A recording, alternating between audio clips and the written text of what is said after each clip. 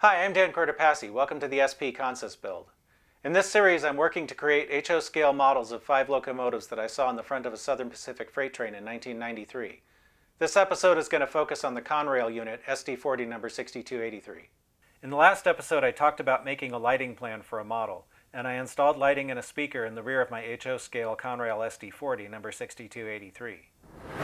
My goals for this time are to install the front number board lights, install a cab light, and install ground lights.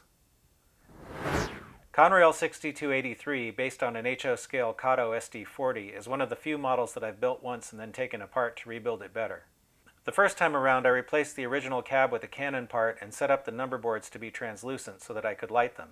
I didn't actually install any lights though. I want to fix that this time. A lot of my planning when lighting a model revolves around preventing light leaks.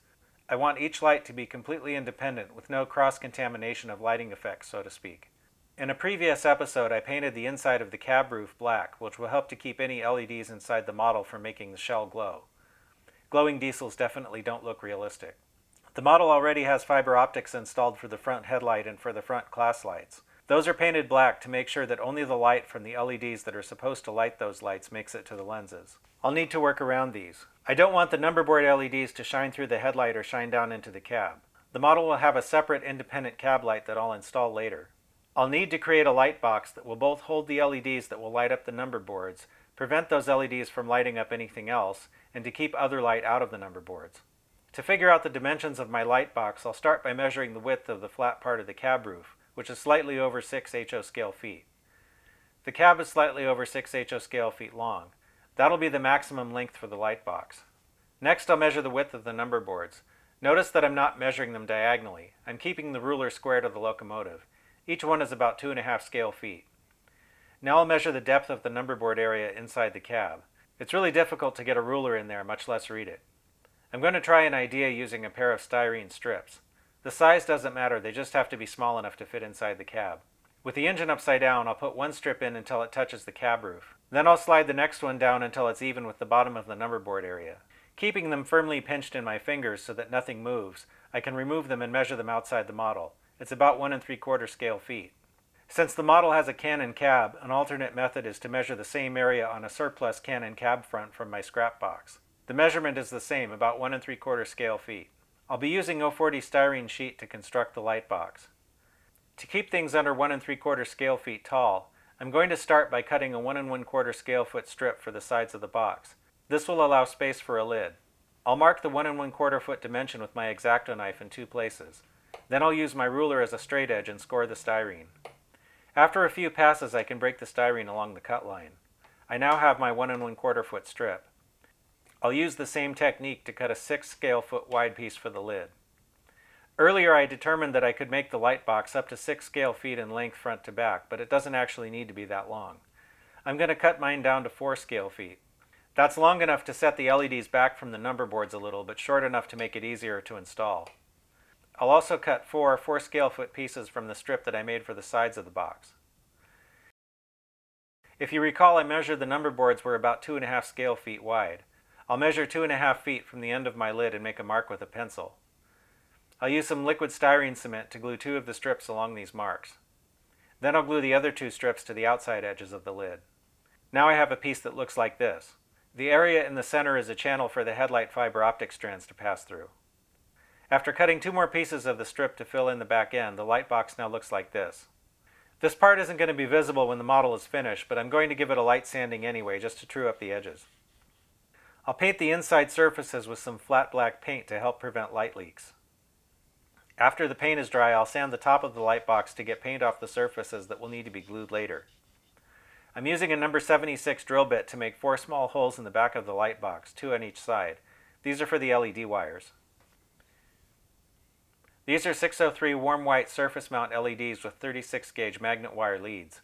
I made up a set of these in episode 8 of the Consist build for this engine. If you want to see how I did it, Please refer back to Model Building HOSP Consist Part 8. I'm threading the leads from the LEDs through the holes in the back of the light box. Small pliers or tweezers can be useful to position the LEDs. They should face forward. To hold the LEDs in place, I cut short lengths of the styrene strip I made for the box sides. I'll glue these in back over the wires. With magnet wire I use green as the positive common. I'm going to twist the two green wires together. Now I can solder them and snip off the excess wire. I don't want the number boards to be too bright, so I'm using a pair of 3.3 k ohm 1 8 watt resistors. I've twisted them together on one side. Polarity doesn't matter. Next I'll cut a couple short lengths of 1 16th diameter heat shrink tubing. I've cut the red wires shorter and slipped a piece of heat shrink tubing over each one. Now I can tin the ends. I'll solder one red wire to each of the free resistor leads. After moving the heat shrink tubing up over the solder joint, I'll use the shaft of the soldering iron tip to heat it up and shrink it. This will help to insulate the connections. Let's test it one more time. Looks good. As some extra insurance against light leaks and to keep the light box from being visible through the cab windows, I'm going to paint the outside black. Sorry that the black on black makes this a little hard to see. I'm installing the light box in the cab roof. I'll secure it with some liquid styrene cement. And for insurance, I'll also use a little canopy glue. This looks a little sloppy, I know, but no one will ever see this once the model is together. The fiber optics for the headlight run right through the center channel that I built into the light box. With the tester hooked up, the number boards have a nice soft glow, exactly what I was after. Most of the time, a single 603 LED, the same type I used for the number boards, is sufficient for a cab light. This is a different model that I built that has a 603 LED as a cab light. I want to mount the light somewhere in the cab roof so that it provides a glow but doesn't show through the cab windows at most viewing angles.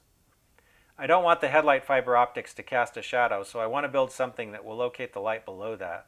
It looks like I could use some material a little shorter than the strips I cut to make the light box sides for the number board lights.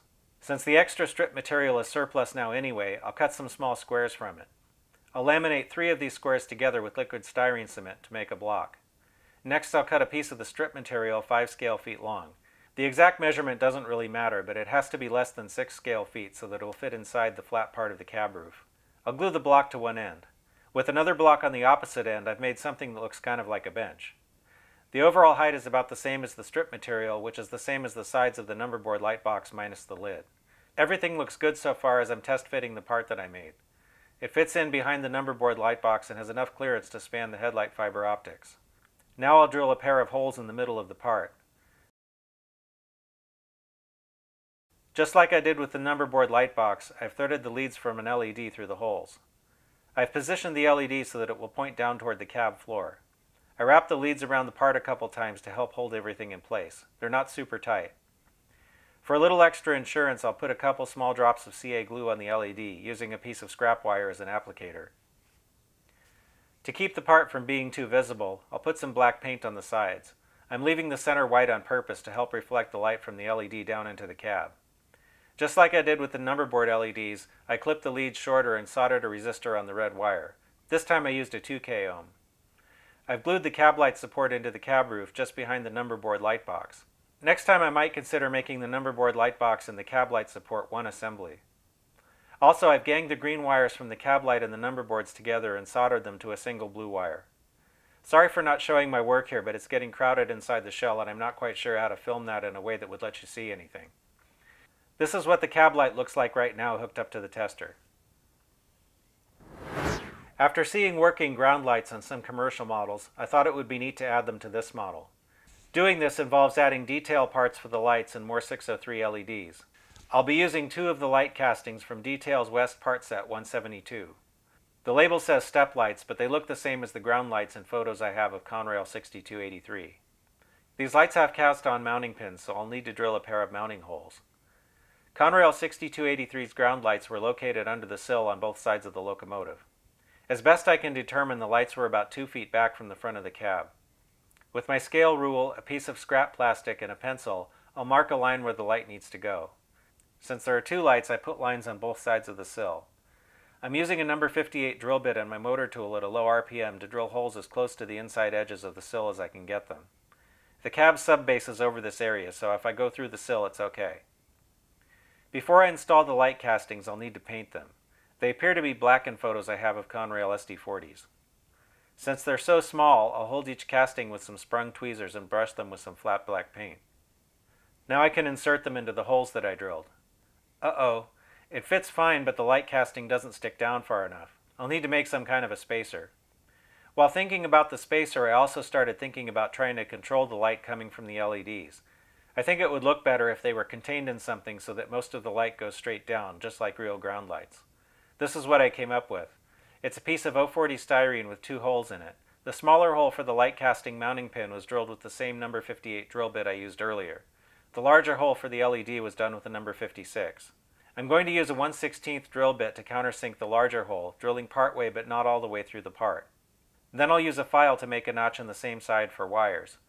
The LED will fit into the countersunk side of the hole, and the wires will go through the notch that I filed. Before I put it all together, I stuck the parts with the notch side down on some masking tape so that I can paint them black. With the black paint and the LED installed, it looks like it's doing what I wanted. The light is bright through the hole but blocked to the sides. The mounting pin and the ground light detail part fits through the other hole. I'll secure it with a tiny drop of CA. I'll put the light assembly in place and secure it with some liquid styrene cement. Now both light assemblies are mounted on the shell. I'm going to leave the wires loose for now. Next, I'll test fit the chassis. I've removed the front truck to make it easier to see what's going on. It looks like I'll need to remove a little material on both sides to clear the ground light mounts. I'll start with a fiber reinforced cutting wheel and my motor tool. It doesn't need to be pretty, but I'll clean up the notches with a file. This is looking good. It's a tight fit, but the frame is now clearing the light mounts. The last step is to hook the lights up to the tester and make sure everything still works. It's hard to see in this shot, but the light is projecting downward just like it should. I think that's a good place to leave things for now. Conrail 6283 now has LEDs or fiber optics installed for everything that needs to light up. Sometimes getting a direct measurement like the depth of the number board area inside the cab can be difficult. Finding a substitute method like using a pair of styrene strips can be useful in situations like this. Sometimes even though something works fine, the design can be improved for the next model. The separate number board light box and cab light support are an example. Next time I might try to combine these into a single part to make installation a little easier. Having to use a spacer to get the ground light casting at the right height provided an opportunity to devise a better light mount for the ground light LEDs. I like how the light now shines down and not out to the sides, making it look more like the light is coming from the light casting itself. I'm pretty happy with the progress I've made on the Conrail unit so far. In the next episode, I'm going to work on adding a cab interior. Stay tuned and thanks for watching.